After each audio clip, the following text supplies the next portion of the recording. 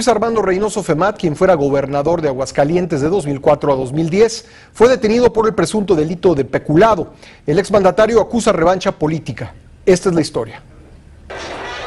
El ex gobernador de Aguascalientes, Luis Armando Reynoso Femat, fue detenido por el delito de peculado cuando salía de la Monumental Plaza de Toros el pasado viernes.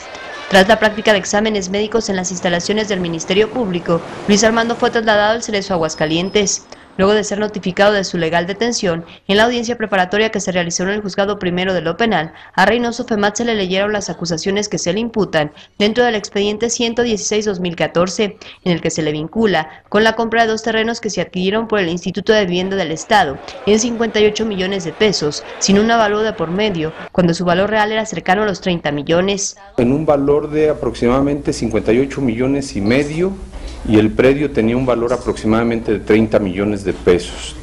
Este, el, quebranto patrimonial para el Estado fue pues, de aproximadamente 27, 26 millones, casi 27 millones de pesos. En la rejilla de prácticas Reynoso Femat se reservó su derecho a declarar y denunció que su detención es una revancha política. No me voy a, no voy a declarar. Ok, entonces se va a reservar, damos por concluida la Así es, y saludos a los medios de comunicación. ¿eh? ¿Se reserva? ¿Revancha política?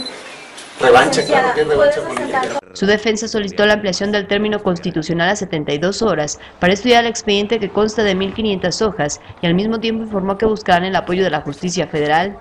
El gobernador de Aguascalientes, Carlos Lozano de la Torre, negó que la detención del exmandatario obedezca a una revancha política.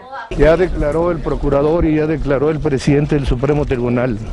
¿Descarta usted eso? Sí, claro. ¿Qué opina del tema? Está lo que explicó el procurador y lo que explicó el presidente del Supremo Tribunal, ¿no? No, no es más que un tema legal, un tema de la justicia y nada más. No, pues no, no estaría donde las revanchas políticas no se solucionan ahí. Tras el hecho, el grupo parlamentario del Partido Acción Nacional fijó su postura y se deslindaron de Reynoso Femat.